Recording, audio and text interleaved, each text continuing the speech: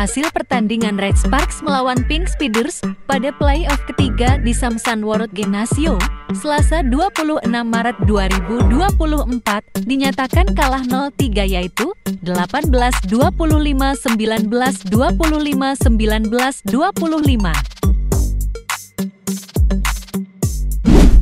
Kekalahan Megawati Hangestri Pertiwi dan kawan-kawan merupakan yang kedua setelah play-off pertama Liga Voli Korea pada 22 Maret lalu. Red Spark sempat menyamakan kedudukan satu sama setelah menang 3-1 di kandangnya 24 Maret.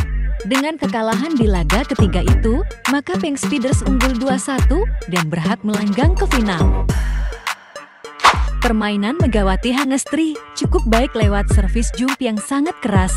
Namun, hal itu tidak mampu membawa timnya mengatasi perlawanan Pink Speeder.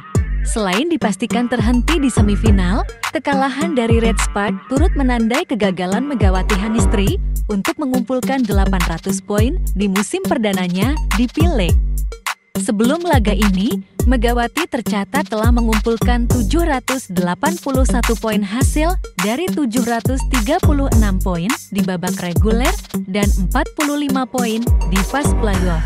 Saat ini dengan tambahan 16 poin, Megawati tercatat mengakhiri pelik tahun 2023 atau tahun 2024 dengan koleksi 797 poin. Tak dipungkiri nama Megawati Hangestri berhasil mencuri perhatian pecinta voli belakangan ini, meski performanya sempat naik turun saat pertandingan laga ini, namun kemampuannya sebagai opposite hitter atau tim penyerang tak bisa dipungkiri.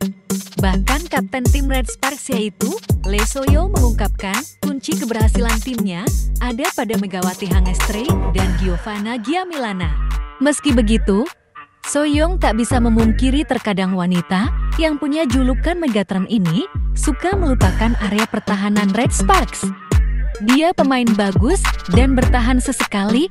Aku sering beritahu Mega kapan menyerang dan harus bertahan, dan saya berterima kasih karena dia sudah bersikap baik pada tim, ungkap Lee Soyong, dikutip Rabu 27 Maret 2024.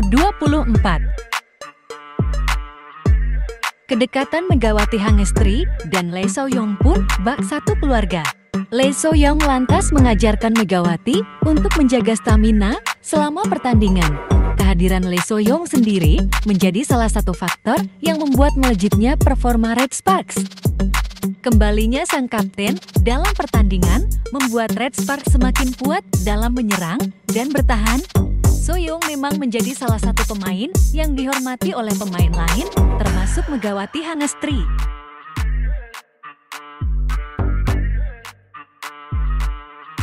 Hal itu terbukti dari video yang juga diunggah di kanal YouTube Red Sparks saat Megawati berterima kasih kepada rekan dan senior tim atas bimbingannya. Alhamdulillah hari ini, senang banget tentunya. Terima kasih atas kerjasamanya tim, terima kasih semuanya.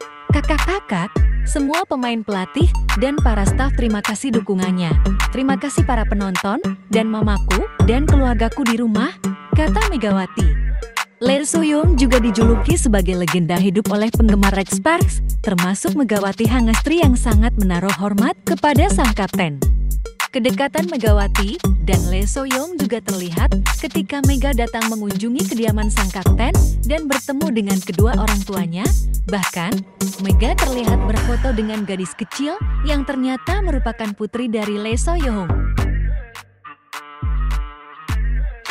Diketahui, trio Red Sparks Mega Gia dan Lee Soyoung merupakan penyerang terbaik di musim ini dengan memberikan tujuh kemenangan beruntun bagi Red Sparks.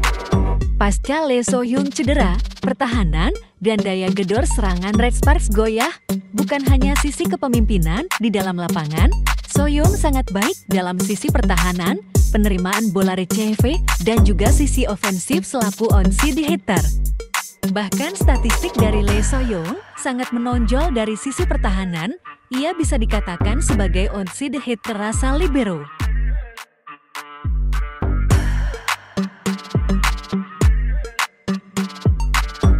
Jadi begitulah geng kedekatan Megawati dan Mas Soyong.